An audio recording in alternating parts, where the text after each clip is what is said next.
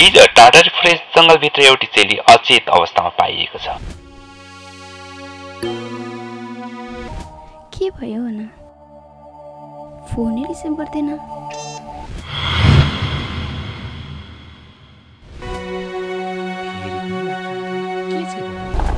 दादा दादा दादा दादा प्लिज प्लिज गाडी रोक्नु त। किन के भयो र? मलाई एकदम समस्या पर्यो। निर्पानी बस्ती जानुपर्ने भयो। जे नै हो सुशीला मलाई बदनामीसँग डर छैन मैले माया तिमीलाई गरेको नै हो सुशीला। जति माया गर्छु जति गर्न सक्छु कसम तिम्रो लागि गर्छु सुशीला।